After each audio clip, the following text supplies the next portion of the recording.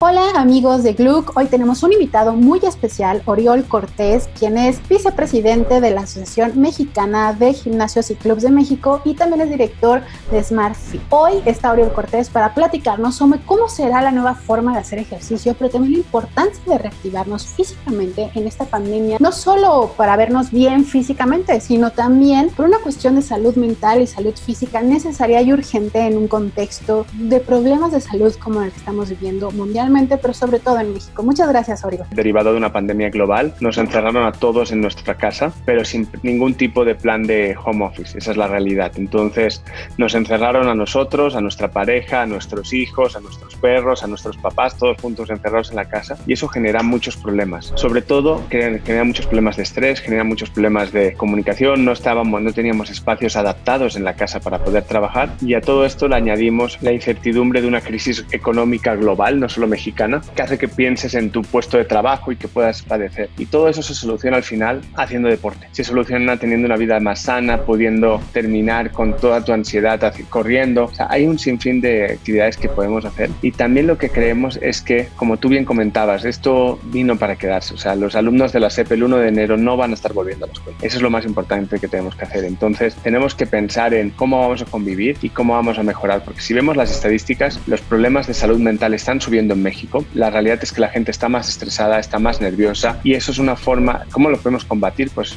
el deporte es una forma de combatirlo de casi gratuita. Entonces creemos que va a ayudar mucho y sobre todo lo que nosotros veíamos más es el solo el 3% de, los de, las personas en México hacen deporte. Y cuando la estadística es engañosa porque esta estadística es que hacen al menos una hora de deporte a la semana, o sea, nada. Entonces tenemos un 97% de personas inactivas y que se está dando cuenta con el COVID, pero que pasa con otras enfermedades que la gente que está falleciendo desgraciadamente es gente que no se mantiene sana. Si tú ves las estadísticas de otros países que sí las están abriendo más, el otro día leía que el 99%, no me acuerdo, la coma era 99 punto algo, de las personas ingresadas en Inglaterra eran personas que no eran sanas, en el sentido de que no se mantenían activos. ¿Por qué? Porque al final esta enfermedad es una enfermedad donde su eh, peligro radica en que es muy contagiosa, pero en sí no es una enfermedad muy grave, es una enfermedad que es una influenza fuerte, pero no tendría que fallecer. ¿Qué ocurre cuando se te mezcla el COVID con un problema de eh, que tienes sobrepeso, que tienes tus pulmones afectados, que tienes no sé qué, es cuando desgraciadamente se vuelve mortal. Entonces, creo que todas estas estadísticas lo que nos tienen que llevar es a cambiar nuestros hábitos de vida. Creo que el gobierno también, la verdad, pocas veces en tan poco tiempo eh, el gobierno mexicano ha hecho tantos cambios en relación a la nutrición, en la nueva ley de etiquetados, la nueva, el nuevo fomento en los niños de comida saludable. Entonces, creo que es una medida enorme y estructural que vino a, a mover y por qué México tiene que dejar de ser líder en todos aquellos eh, rankings que no queremos ser líderes. No tenemos que ser líderes ya mundiales en obesidad infantil, en obesidad global, en enfermedades cardiovasculares, en diabetes. Todo eso se combate con deporte. Y si al final buscamos los miles de millones de dólares que se gasta en México en salud derivados solo de este tipo de enfermedades, te das cuenta que solo teniendo la población más sana podríamos dedicar todos esos recursos a cualquier otra cosa. La educación, cultura, lo que quisiéramos. Ya no solo es un tema de, de salud física de personal, sino también como país estamos gastando miles de millones de dólares en algo que podríamos subsanar fácilmente. ¿Cuál es la nueva realidad ahora? O sea, cuando entrevisté al presidente de la Asociación Mexicana de Gimnasios, eh, me, me, decía que en la Ciudad de México, bueno, desafortunadamente, esto fue en julio, iban a despedir a muchas personas, pero que también estaba funcionando muchísimo lo que eran las clases en línea. Este, ¿qué, qué viene ahora en los gimnasios? Porque bueno, entre que la vacuna se tarda, entre que llega, entre que necesita refrigeración, ya sabes,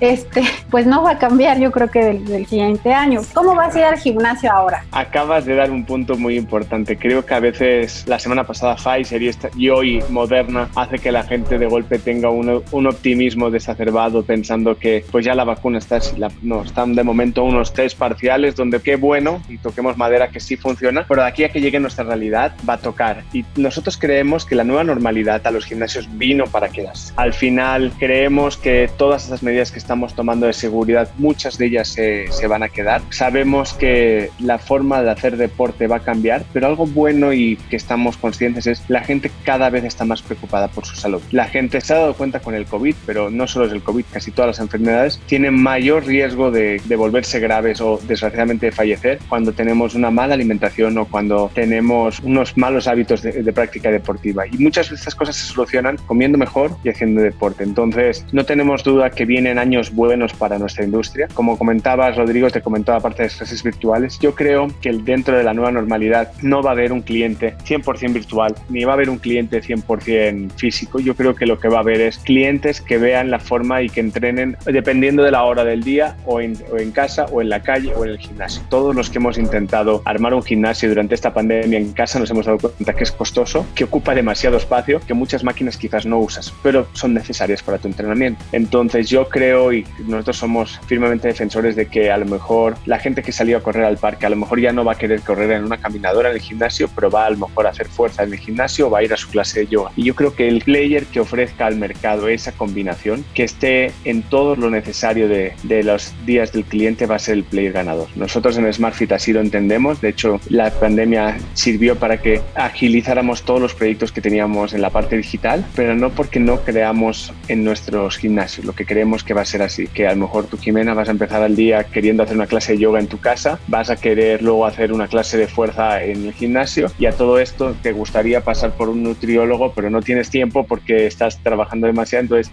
quieres que el nutriólogo te atienda a través de una aplicación. Ese es donde nosotros creemos el, que es el futuro, que es un poco lo que está pasando también en el retail tradicional. A veces compras online, a veces compras físico, pero eres el mismo cliente. No es que solo compres online o que solo compres físico. Yo creo que con nosotros es lo que va a pasar y esa es la nueva normalidad que viene para la industria de gimnasios. Viene un acompañamiento digital, no sé, una aplicación que va contigo a todos lados podría ser. Nosotros queremos que SmartFit te acompañe en todo tu ecosistema de ser, de tu, cuando quieras ser más sano y quieras hacer ese deporte. Entonces ya tenemos una app que se llama SmartFit como un coach personal donde puedes entrenar en tu casa o en streaming o en el gimnasio donde vas a tener las rutinas de tus profesores. Tenemos los gimnasios y estamos por lanzar una app que se llama SmartFit Nutri que ya está a prueba, a prueba en varios estados y la vamos a lanzar la, la Ciudad de México en enero, donde vas a tener un nutriólogo desde una app. Entonces la gracia es que tú puedas entrenar en cualquier momento donde tú quieras y que siempre tengas el acompañamiento de tu entrenador personal. Entonces eso es donde nosotros creemos que va a ir. Como bien comentas, primero la vacuna va a tardar en llegar y segundo,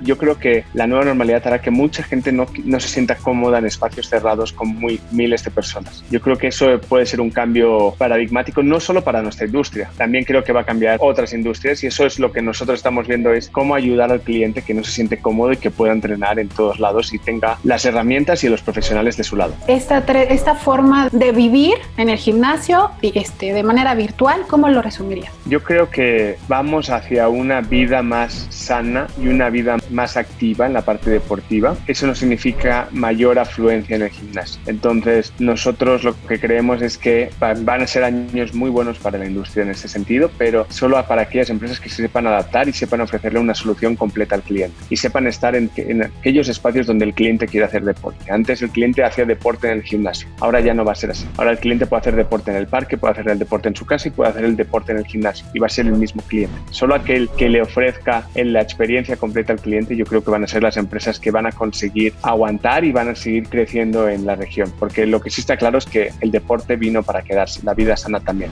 Bueno, pues muchas gracias por esta entrevista, Oriol Cortés. La verdad es que nos diste mucha luz sobre por qué sí tenemos que hacer ejercicio, por qué debemos de continuar con nuestras actividades con toda precaución, pero también cómo nos vamos a actualizar en esta nueva forma de regresar a los gimnasios y de hacer ejercicio. Y muchas gracias por vernos. Si les gustó esta entrevista, por favor, compartan en sus redes sociales, den like en nuestras páginas, en nuestras redes y suscríbanse a nuestro canal de YouTube. Soy Jimena Lagos.